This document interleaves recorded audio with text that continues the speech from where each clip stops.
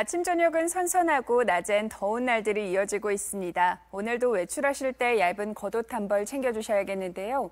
현재 대구의 기온은 18도, 안동 16도, 의성도 16도로 어제와 비슷하게 하루를 시작하고요. 한낮 기온은 대구 28도, 안동 27도, 의성도 28도로 일교차가 10도 이상 크게 벌어지면서 환절기 날씨를 보이겠습니다.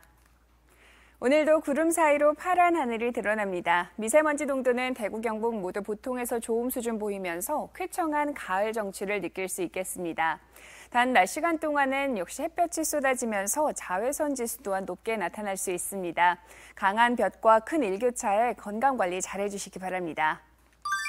위상 영상 보시면 오늘은 동해상에 위치한 고기압의 가장자리에 들면서 우리 지역은 종일 구름 많은 하늘이 드러나겠습니다. 자세한 작별 날씨입니다.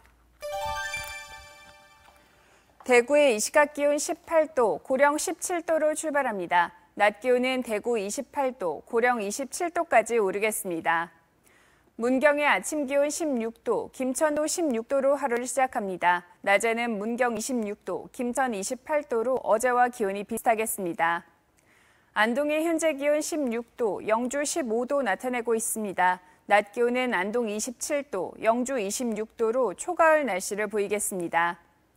울진의 아침 기온 16도, 낮 기온 24도 예상됩니다. 바다의 물결은 최고 3m로 높게 일겠습니다. 이번 주는 주중에는 계속 흐린 날들이 이어지겠고요. 아침과 낮에 기온 변화가 크겠습니다. 날씨였습니다.